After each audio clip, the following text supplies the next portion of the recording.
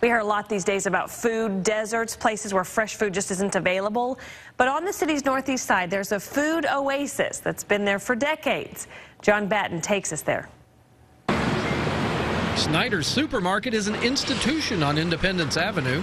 We've been open every day since the store opened in 1972, ever Christmas, ever holiday, Thanksgiving. Uh, so for 40 years, this store's never been closed. Jerry James has worked here since 1988. When he found out the owner wanted to sell eight years ago, he jumped at the chance to be the new one.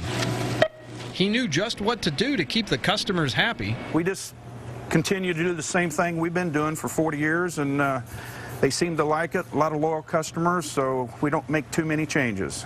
They will change what's on the shelves when customers ask, which is why you'll see coconut milk and cans of greens and chicken feet in the meat case. They give the customers what they want. Well, I stay right down the corner down there, so close to get. If you didn't, well, I didn't have no car, so I used to come here. I've been coming ever since. And many describe it as a family store. That makes sense since three of Jerry's children work here.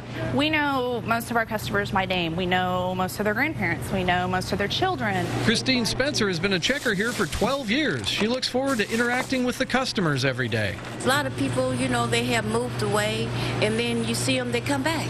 They come right back to, to Snyder's. And as long as they do, this institution will keep giving them what they want. John Batten, 41 Action News.